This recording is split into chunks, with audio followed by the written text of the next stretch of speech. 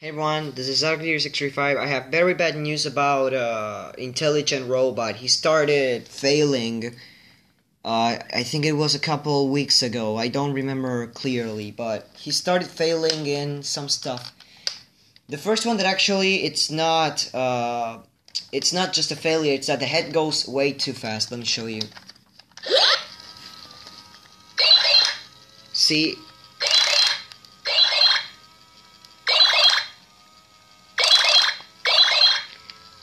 So it never goes, it never stops right here.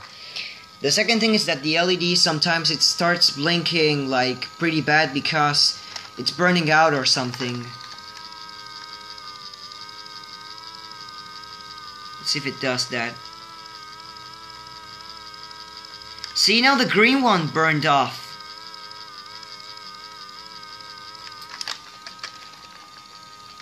The green part of the LED means it's a it's an RGB red, so the G, which is the green part, it just burned out. And of course, um, the walking thing's the worst. Let me show you. Uh, this foot goes faster than the other one. And when it goes backward, both go very slow.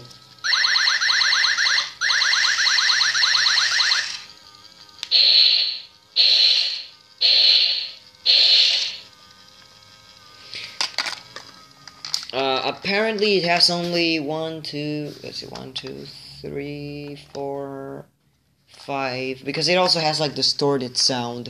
It has like five problems that I gotta fix. Uh, of course, this robot is from two years ago, so I somehow uh, understand what's happening to it. It's it's becoming old. I mean, two years and he doesn't die yet. It's a very good thing because Jirlo robots usually die uh, before the two years, and actually it's happening the same thing that happened with my Beat Magnum True Hero. It's it's not dead. Yeah, the, the not dead. So yeah, I'm going to try to fix it maybe today, but I already have a lot of stuff to do. I'm fixing the Mexican trumpet mouse. Oh, here's Sodak. I'm fixing the Mexican trumpet mouse. It's already fixed. Now I only have to glue up everything back and take it all back together.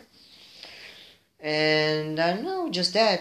Yeah, of course, I just left this lantern flashing. I don't know why.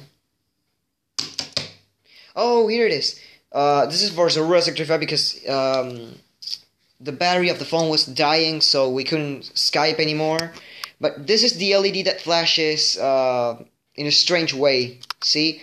This LED here. You just saw it. I'm not lying. So that's it. That's the